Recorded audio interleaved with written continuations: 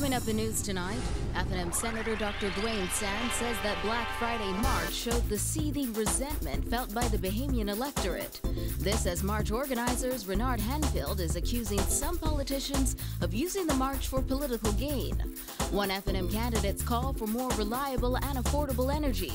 Plus, we've got the highlights from Grand Bahama's Festival Noel event.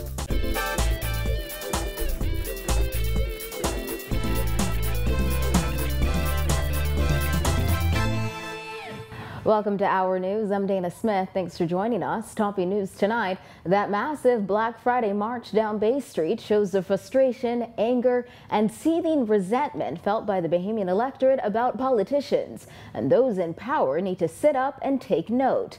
This according to FNM Senator and noted surgeon Dr. Duane Sands, who said having elected an absolutely incompetent government, it's clear the people want change and politicians need to take note of the sentiment of voters. I think a new day has dawned in Bahamian politics. Sands said voters may have been upset with the FNM prior to the 2012 general election, but it seems they have now doubled down on their anger and now have the greatest example of political remorse of any political electorate ever. The mood, I believe, of this Black Friday march captured a real frustration, an anger, a seething resentment of the dismissive contempt shown to Bahamians by politicians. And although that anger may be primarily directed at government politicians, Sands said it also falls on any incumbent. But despite this, many familiar political faces were spotted in the crowd. Asked about this, Sands said given protesters were voicing their dissatisfaction with the state of the country, he found the presence of some politicians on the march absurd. This don't make no kind of sense. I mean, one of the demands was for the resignation of the Minister of Education. So for him in particular to be there didn't make any sense to me. Um, but many of the government uh, ministers were in the crowd protesting themselves. Now, if that is not absurd. I don't know what is. Sands added all politicians, regardless of their political affiliation, have something they can learn from the massive march down Bay Street, and he warned the event should not be politicized. And the lead organizer of the We March Bahamas protest, Renard Henfield, is hitting out at some politicians who he claimed used last Friday's massive protest for political gain. Our Jasmine Brown has his candid comments in this report. When the march was first announced, Henfield had made it clear that politicians were not invited. However, several PLP, FNM, and DNA candidates showed up for the march. Henfield says he relaxed his position, but it did not come without stipulations. I initially said that I didn't want any politicians involved, and every organization reached out and it made it. I guess, as to use Fred Mitchell's words, everyone went in a tizzy. And I'd appreciate that everyone, regardless of their political affiliation, is a Bahamian. And I want to bridge divides, but I would have said to them, I don't want politicians doing interviews. I don't want politicians wearing their party paraphernalia. But that did not stop politicians like FNM leader Dr. Hubert Minnis, DNA leader Branville McCartney, and several PLP MPs from addressing the media during the march. Henfield says he was disappointed that those politicians would make the march about them and not the concerns of the people. Henfield says he believes many of the politicians only participated after they saw the buzz surrounding the march. Once they realized the momentum and how many people were standing up, they quickly adorned their black attire and you can tell the sincerity of it because they never, not one of them had a We March shirt. If they were in support of the people, I think those persons would have had a We March shirt like the rest of us, like the thousands of us. But instead, at the ninth hour, they went in their closets and picked out something black to say that I stand with the people. Field went on to question their motives. I saw it for what it was. They're political, political opportunists, and they wanted to stand on that side of the people at the ninth hour. But these are people who have voted against the will of the people for quite some time now.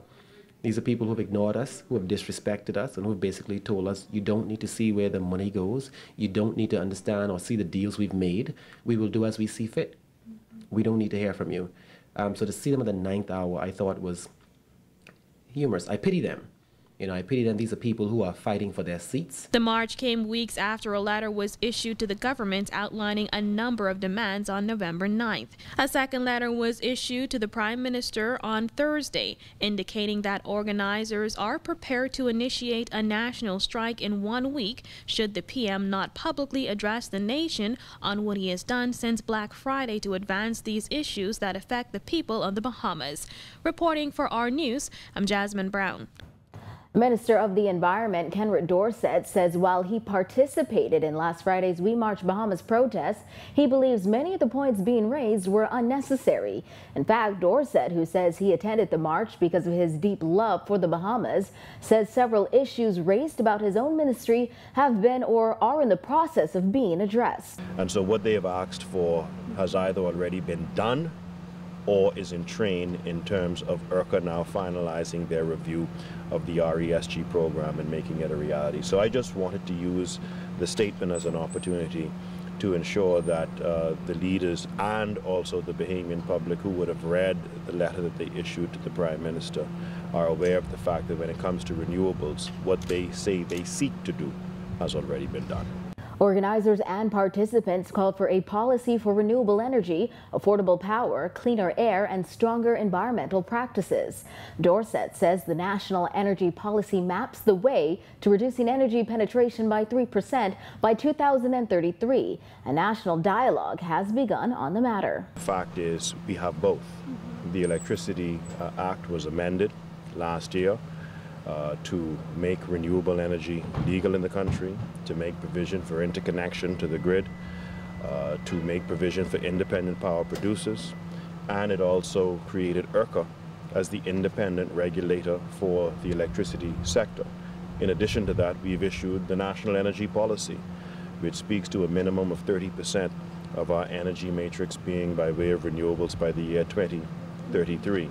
In other news tonight, police in Grand Bahama need the public's help in locating two wanted men. The first is Ricardo Quincy Jones Jr. He's described as a medium brown man with an average build, standing at about 5 foot 10 inches tall and weighing about 170 pounds.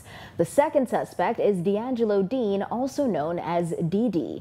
Dean is described as a medium brown man with an average build, standing at about 6 feet in height and weighing 200 pounds. Police are asking anyone with any information as to the whereabouts of either of these men to contact police in Grand Bahama at telephone number 350-3107 through 12 or call police at 911 or 919 or call or visit your nearest police station. Well, on the heels of a major Bahamas power and light meltdown and rolling blackouts last week, a Free National Movement candidate says the time has come for Bahamians to demand reliable and affordable energy. Christina McNeil reports. Mount Moriah candidate Marvin Dames says he's not an energy expert, but he can see that there is a problem in the country. Our news spoke to him outside the Free National Movement headquarters earlier this week during a power outage, where he said the time has come for answers and change. Uh, there's no question about it. Um, I mean, we have a problem. Uh, you mentioned the fact now that we're, we're standing out here, uh, and the reason why we're standing out here is because where we don't have any electricity. Um, I was at home last night and bam, the lights went out. Um, and this is this is this is becoming a reoccurring problem. Um, I don't have the history behind why it, it, continues to happen, but obviously it points to the fact that we are in the midst of a problem. On Friday, former state minister for the environment Phenton Neymour told our news that the country is in the midst of an energy crisis. Dames agrees. Have to find ways, right, to keep the light on. Um, we have to look for alternative sources of energy um, because people continue to co complain uh, of high energy cost when other countries are looking for alternative solutions to reduce the cost uh, of electricity bills. Dames says Bahamians have been plagued by blackouts and load shedding for decades. He says as a country that considers itself a modern hub for business, Bahamians are desperate for change. You know, and we have to certainly hear from the government, we have to hear from BPL as to what is the strategy in the foreseeable future that will that will get us out of this problem of constant, incessant, you know, blackouts. You know, uh, it's it's it's it's insane. You know, and you cannot you cannot run a country when you know the lights. There's no guarantee that you know you're going to have power. Dames says the FNM will release a plan for energy in the country, one that lays out the path toward reliable and affordable energy for all. And I assure you that when our leader releases our platform, um, the whole question of how we deal with with with our energy um, solutions moving forward, you're going to find that they're going to be very groundbreaking, very interesting, and it will bring relief relief in high energy cost, and relief in, in blackouts. Reporting for Our News, I'm Christina McNeil. When Our News returns, the president of the Bahamas Electrical Workers Union says while BPL is doing what it can to ensure reliable energy, there are several challenges. Stay tuned.